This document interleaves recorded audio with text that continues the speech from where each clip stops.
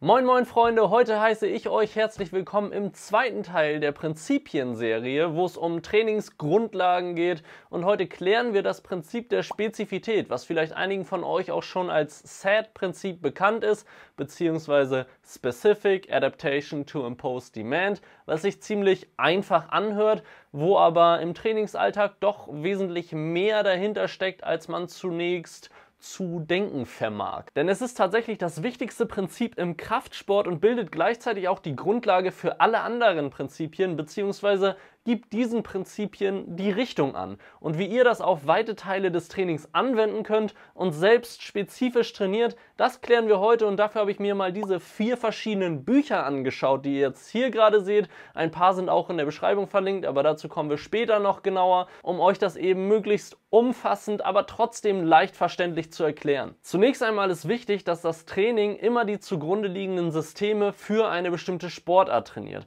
Das bedeutet, wir bauen entweder Muskeln auf, auf für eine bestimmte Bewegung innerhalb der Sportart. Ähm, wir trainieren das Nervensystem, um eine bestimmte Bewegung effizienter zu machen. Oder wir trainieren auch speziell bzw. genau die benötigte Bewegung, die wir für eine Sportart brauchen. Beispielsweise beim Kraft-3-Kampf, wenn wir das Wettkampfbankdrücken ausführen. Das wäre dann der spezifischste Weg für Kraft-3-Kampf zu trainieren und eben unsere Leistungen in den Wettkampfübungen zu verbessern. Aber da Spezifität auf einem Spektrum liegt, kann es auch sein, dass weniger spezifische Methoden unsere Leistung in dem Wettkampf positiv beeinflussen. Das heißt beispielsweise Muskeln aufbauen für die Bewegung des Bankdrückens, beispielsweise Brustmuskel aufbauen, ist zwar nicht so spezifisch wie die Wettkampfübung auszuführen, aber ist dennoch ein bisschen spezifisch bzw. leicht spezifisch und fördert die Leistung im Bankdrücken auf dem Wettkampf. Kraft aufzubauen, beziehungsweise generelle allgemeine Kraft aufzubauen, ist dann noch ein bisschen spezifischer als Muskelaufbau, aber noch nicht ganz so spezifisch als den Lift selbst zu trainieren. Das heißt beispielsweise, wenn ihr jetzt ähm, immer 5x5 an der Brustpresse trainiert, dann ist das Kraftaufbau für eure Brust zwar noch nicht ganz so spezifisch wie die Wettkampfübung, aber ihr werdet auf jeden Fall schon stärker, als wenn ihr jetzt nur unspezifisch mit, sagen wir, Butterflies den Brustmuskel aufbauen würdet. Dementsprechend wäre Bodybuilding zwar nicht das spezifischste Training, was ein Kraft-3-Kämpfer machen kann, aber immer noch spezifisch genug, um Vorteile für das Kraft-3-Kampf-Training bzw. den Kraft-3-Kampf-Wettkampf mit sich zu bringen. Im Gegensatz dazu gibt es dann andere Trainingsmethoden, die so unspezifisch sind, dass sie entweder keine Vorteile bzw. weder Vor- noch Nachteile mit sich bringen. Das wäre dann beispielsweise Mobility, also Mobility Training oder Dehnen.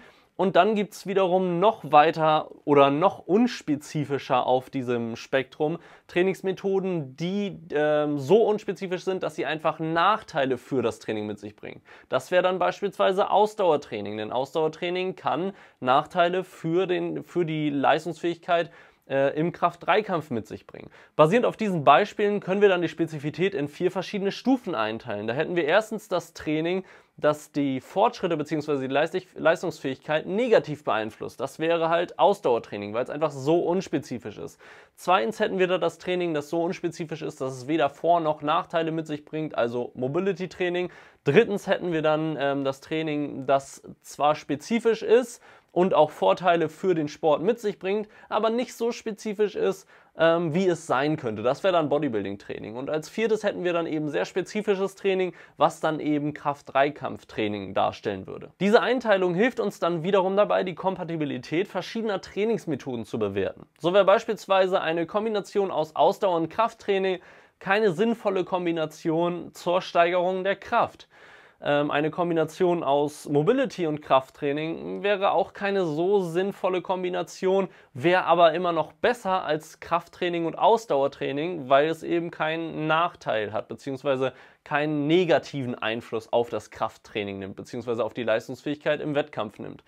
Eine Mischung aus Muskelaufbau und Kraftaufbautraining wäre dann schon wieder eine sehr sinnvolle Idee, weil das eben dann ziemlich spezifisch wird. Und noch spezifischer wird es, wenn man allgemeines Kräftigungstraining mit spezifischem Kräftigungstraining kombiniert. Das bedeutet allgemein, also halt unspezifische Kraft, allgemeinen Übungen wie beispielsweise ähm, mit, der, äh, mit dem Beispiel der Brustpresse dass wir halt allgemein stark werden, auch in anderen Übungen, die vielleicht im Wettkampf keine Rolle spielen, beispielsweise auch beim Langhandelrudern stark werden und nicht nur im Kreuzheben, Bankdrücken und Kniebeugen. Spezifisch wäre dann wieder stark werden in den Wettkampfübungen. Also das wäre dann die spezifischste Trainingsmethode für das Kraft-Dreikampftraining. Ein weiteres Unterprinzip der Spezifität ist hier auch die sogenannte Directed Adaptation. Diese besagt im Vergleich zur Spezifität nicht nur, dass ein Stressor spezifisch sein muss, sondern dass er auch in einer logischen Reihenfolge präsentiert werden muss und konstant auftreten muss. Ein einfaches Beispiel wäre hier, dass eine sinnvolle Periodisierung oder Phase Potentiation meistens eine bessere Strategie ist, als einfach zu versuchen, alle Charakteristiken gleichzeitig ausprägen zu wollen. Denn während das zwar einen Reiz präsentiert, ist dieser eben zu inkonstant, was dann zur Folge hat, dass man erstens nie wirklich gut in einer Sache wird, was man beispielsweise in dieser Movement-Bewegung sieht, und zweitens auch zur Folge hat, dass man die Gains bzw. das, was man sich da antrainiert hat, eben auch schneller wieder verliert, als wenn man diese Anpassungen über längere Zeiträume separat ausgebildet hätte. So habe ich beispielsweise im Moversity-Programm die Phase Potentiation in die Zyklusplanung so eingebaut, dass basierend auf dem Trainingsziel eine sinnvolle Reihenfolge verschiedener Trainingsblöcke und Mesozyklen geplant wird, die die Ergebnisse in dem jeweiligen Ziel schlussendlich maximiert. So kann ich hier beispielsweise meine Zyklusplanung für meinen Kraft-3-Kampf-Wettkampf zeigen, für die ich erst über einen längeren Zeitraum eine Muskelaufbauphase eingeplant hatte, um eben das Potenzial zur Kraftentwicklung zu maximieren. Denn mit mehr Muskelmasse hast du eben auch eine bessere Ausgangsposition, um Kraft aufzubauen.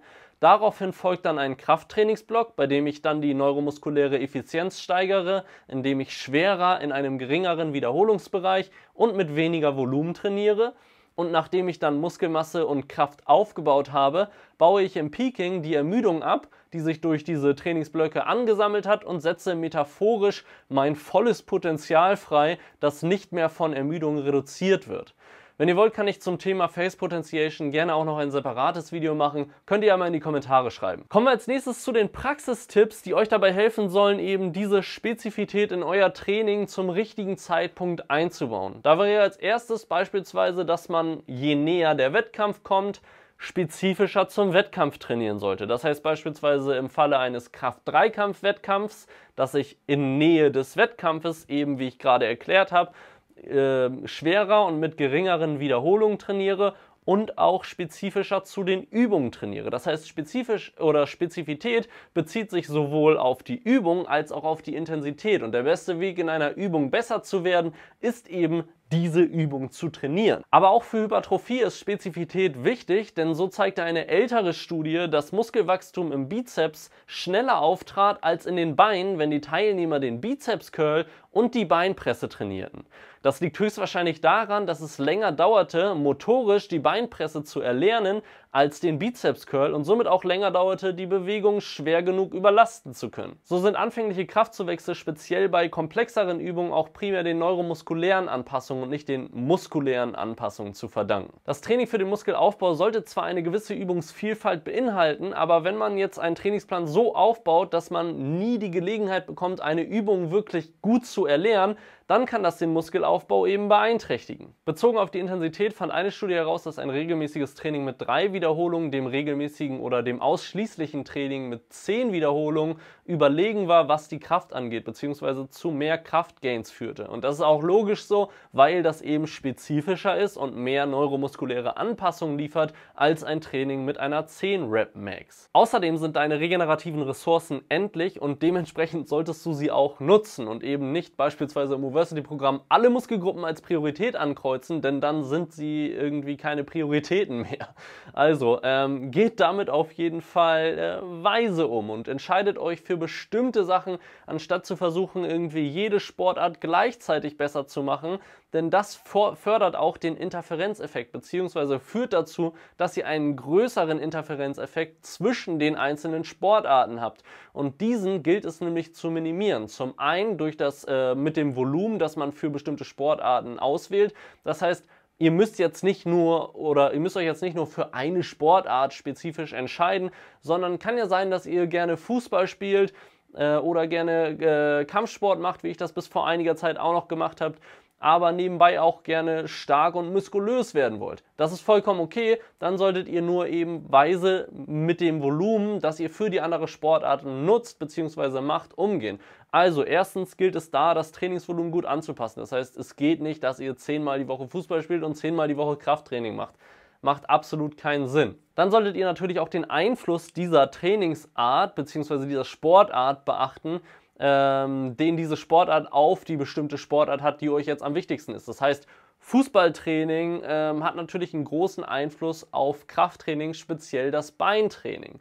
Und dementsprechend solltet ihr auch die Trainingsart beachten und den Zeitpunkt. Trainingsart haben wir oben schon geklärt. Das heißt beispielsweise eine ausdauerreiche Sportart ist jetzt nicht unbedingt die schlauste Idee, wenn Kraft-3-Kampf für euch das oder die Sportart ist, in der ihr unbedingt besser werden wollt. Zum Zeitpunkt muss man sagen, dass wenn ihr euch dazu entscheiden solltet, mehrere Sportarten gleichzeitig zu machen, dass ihr diese möglichst weit voneinander entfernt macht. Das heißt beispielsweise kein Cardio-Training vor dem ähm, Krafttraining, sondern Cardio-Training am besten möglichst lange danach oder möglichst lange davor, beziehungsweise vor dem Krafttraining, denn so reduziert ihr eben diesen Stör- oder Interferenzeffekt. Des Weiteren solltet ihr eure Assistenzübung mit einem logischen Grund auswählen und nicht auswählen, weil sie gerade irgendein Influencer gemacht hat, ohne vorher drüber nachzudenken, ob diese Übung euch überhaupt bei euren Zielen und mit eurem Körper bzw. mit eurem Trainingsstand ähm, hilft oder hilfreich ist. So haben mich schon zum Beispiel viele schon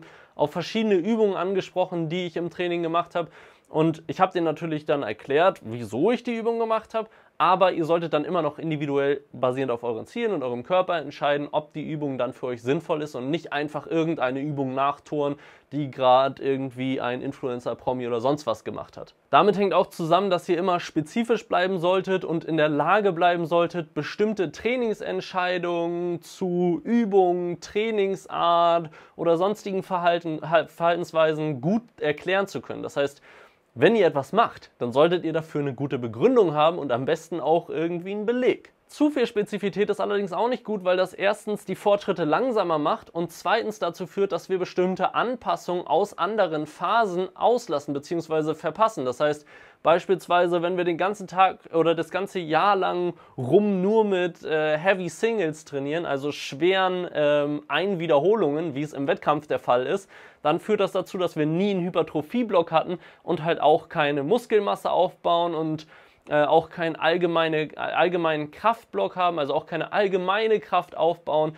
Und so verpassen wir dann eben viele Anpassungen, die sehr förderlich für den Wettkampf wären, ähm, weil wir dachten, das meiste an Spezifität year-round wäre die beste Entscheidung. Außerdem kann zu viel Spezifität auch zu Übertrainingssymptomen führen und dazu führen, dass unsere Regeneration sich verlangsamt. Was ihr auch beachten solltet, ist, dass die Spezifitätsanforderungen mit der Trainingserfahrung steigen bzw. sich zu verändern. So müssen beispielsweise erfahrenere Athleten, weil sie halt meistens stärker sind, einen Teil des Volumens von Mainlifts bzw. Hauptübungen, wie jetzt beispielsweise sagen wir Kreuzheben, auf Assistenzübungen verteilen. Habt ihr auch in dem äh, Video über meinen Trainingsplan gesehen? Ich mache gar kein normales Kreuzheben, einfach weil ich zu stark im normalen Kreuzheben bin. Wow.